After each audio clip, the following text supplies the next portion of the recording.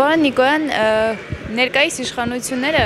պարբերաբար թմկահարում են, որ շարժումն արդեն մարել է Տավուշահանուն հայրենիքի շարժումը եւ չեն մասնակցում քաղաքացիները Բագրատ Սրբազանի խոսքը այնքան էլ ուժ չունի, որ մարդիկ միանան իրեն։ Ինչ է կարծում, ինչու են նման թեզեր շրջանառվում։ Երկու գործոն կա առաջինը որ իրենք իրոք շարժումից վախեցած են, մեկ եւ երկրորդը իրենք իրենց սրտի ցանկություն են ուզում արտահայտել եւ քարոզում են։ Այդ երկու գործումը իրենք եթե համոզված լինեն, որ դա այդպես է, Բագրատ Սրբազյանը եւ մի խումբ մարդիկ, որ գնում են որևէ պետական հիմնար։ Դու տեսել եք ինչքան մարդիկ են շարված։ Եթե Նիկոլը չի վախենում, 500 ցուցարար գնում են կառավարության մոտ եւ այնտեղ 3000 ոստիկան է կանգնած։ Նշանակում է շատ են վախենում։ Ոչ թե վախենում են, շատ են վախենում, որովհետև իրենք հասկացել են այս շարժման էությունը։ Ի շարժման էությունը հետեւյալ է. նա ավելի շատ հանուն է, քան ընդդեմ է։ Եթե ընդդեմ է, ապա չարուն։ Եթե ընդդեմ է, ապա ստախոսին, կեղծիկին, դավաճանությանը, հայրենադավությանը եւ այլ եւ այլ։ Սա հանուն է հայրենիքի, հանուն արժեքային համակարգի, հանուն համախմբան, հանուն սև ու սպիտակի վերացման, հնի նոր եւ ամեն ինչի, որբիսի կարողանանք այս տարածաշրջանում գոյատևել, իսկ մենք ունենք այդպիսի խնդիր։ Աստված է ուղարկել մարդու, որը վեր կուսակցական է, ցանկանում է բոլորին միավորել եւ հանուն մեր ապագայի, հանուն մեր պետության, հանուն մեր ազգի ինչ որ քայլեր են։ Իրենք վախենում են դրանից։ Ինչպես սուտը վախենում է ճշմարտությունից, խավարը վախենում է լույսից, տգիտությունը գիտությունից, այ իրենք սարսափած են այդ ամեն ինչից։ Պարոն Նիկոյան, տեսեք Սրբազանն էլ ասեց, դուք վախենում եք մեզնից։ Ուր է հեծանիվը առաջ, հեծանիվով է իր գնում աշխատանքի։ Դրան ի պատասխան Նիկոլ Փաշինյանը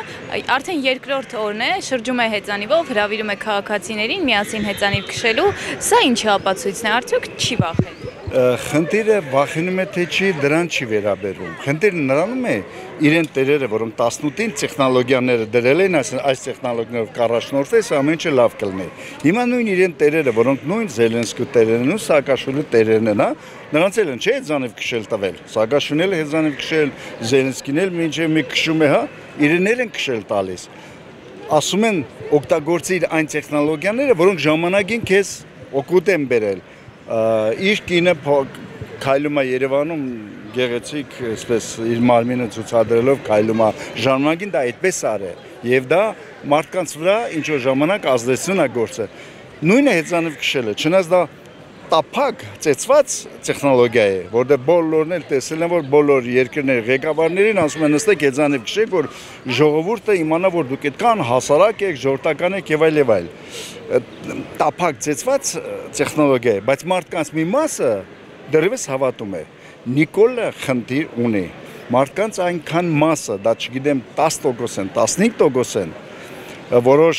սոց հարցումների ամիսներ առաջ մինչև կարող էր մոտենալ 20%-ի։ Նրանք դեռևս անընդունակ են ինքնուրույն մտածելու։ Դեռևս նրանք գտնվում են նրա քարոշչական ճիրանների մեջ, այսինքն ինքը ինչ ասում է, նրանք նույնը կրկնում են։ Ինքը ուզում է այդ տոկոսը բաց չթողնել։ Դրա համար հեծանև է քշում։ Ինչքան էլ ծեծված է դա, միևնույն է վարկանիշը բարձրացնել այդպես։ Ինքը ուզում է պահել իր վարկանիշը։ Գոնե ինչքան է 10%-ա, 15%-ա, 20%-ա, ուզում է դրանց մոտ իր վարկանիշը պահել։ Մասնարապես Երևանում դրան որևիցե մեկը կամ շատ-շատ քչերն են որ ուշադրություն են դարձնում Երևանում դա արդեն չի աշխատում բայց կարող է հերավոր գյուղերում որոնք նստած են հմեկի այսպես ասած քարոզության վրա կարող է նրանց վրա ազդեցություն գործել։ Եվ ինքը անում է, իր տերերը ասել են ուշացնում ես, արասա, ժամանակին քեզ օգնել է, հիմա էլ կօգնի, բոլորն օգնել է, քեզ էլ կարող է օգնել։ Իրենք դիմում են նման քայլերի իմանալով հանդերձ որ ինչա դրա տեսքին որ նայում ես տղամարդու տեսքել չկա վերել նստել է հեզանվա քշում այդ տեսքով եթե սպորտային կեցված կունենար կասե հայ հեզանիվ քշող է Պարոն Նիկոյան, որպես նախկին քաղաքական գործիչ, ինչպես կգնահատեք Հայաստանի սահմանազատումն ու սահմանագծումը։ Արդյոք ճիշտ էր այս պահին, այս փուլում նման քայլի գնալ եւ առանց որևէ իրավական քարտեզներ հաշվի առնելու, առանց գիտենք որ օրենքով կա, որ քարտեզների Հայաստանի տարածքների փոփոխությունը պետք է լինի քվեով։ Արդյոք ճիշտ էր նման բանը։ Խնդիրը գիտեք ինչի՞մ է, դա որբիսի վերադառնանք եւ ակունքներին ինչից սա սկսվեց պատերազմից հետո, որտեղ մենք պարտվեցինք, ասում ենք պարտվելը դեռևս չի նշանակում անդառնալից։ Եթե դու չես հանձնվում, այդ պարտությունը միշտ կանգնել է շտկել դա։ Նիկոլը այնպես արեց, որ ազգը, ժողովուրդը, անհատը հոգեբանորեն կոտրվեց եւ հանձնվեց։ Խնդիրը դրանն է։ Եվ մենք ինչ ենք ասում, յուրաքանչյուր վարկյանը Նիկոլի մնալ է կորցանարար է մեր պետության համար։ Ամեն վարկյան մի բան կորցնում ենք։ Եվ Ադրբեջանը հասկանալով որ դիմացը չկա լուրջ մարդ, չկա ղեկավար, որը ընդհանրապես կարող է այսպես իրավիճակներում հեծանիվ քշել կամ հույսը դնել տեխնոլոգիաների վրա, որ ժողովրդին կարող է մի փոքր մասի վրա ազդել, առաջնորդումը քարուսությամբ եւ տեխնոլոգիան ինքը անում է այն, ինչ ինքը ցանկանում է։ Դուք տեսեք, պատրաստումից հետո մենք ինչ ունենք։ Պատրաստումից հետո ամեն դեպքում մենք ունենք Արցախ, մենք ունենք ամուր սահմաններ, նոյեմբերյանի մեր դիրքերը այնպեսին էին, որ ամբողջ 30 տարվա մեջ ճշնամի մի միլիմետր չի կարողացել այնտեղ շարժվել շատ լավ դիրքեր էին, շատ լավ կահավորված դիրք էին եւ ճշնամին ոչինչ չէր կարող անել։ Հիմա ինքը հասել է դրան եւ հատ-հատ ստանում է դա։ Հասկանում եք, հաստատվում է, որովհետեւ պարտված ղեկավարը, հաղթող ղեկավարը չի կարող սեղանի շուրջ նստելու խոսել, չի կարող նայեք բնության օրենքներին, նայեք բնության օրենքներին, ես որևիցե մեկի չեմ ուզում վերավորել, երկու շուն կրվածրեք։ Եթե մյուս շանը խեղտում է, այս խեղտված շանը դու փորձի տերը նորից տանի կրվածնի, չի կրվի։ Խեղտված շունը, պարտված շունը նորի չի գնա նրա հետ կրվի, այլ պոչ է սենց բոլորը նստի խելոք տեղը, կամ շուր կգա իր տերերի կամ բաների վրա, իր հարևանների վրա կհաչի, իր ուժը ցույց կտա այնտեղ, բայց ում որտեղ որ պետք է, ինքը կվախենա։ Նույնն էլ կատարվում է մարդկության հասարակության մեջ, հերոբ չենք մենք։ Ինքը վախենում Ալիևից, անասնական վախ ունի։ Եվ ասում են վայ մենք չունենք, ես չունենք, այն չունենք, 6 տարի իշխանության ես ունեցի։ 6 տարի ասում ես փող տալիս եմ, ինձ զենք չեն տալիս։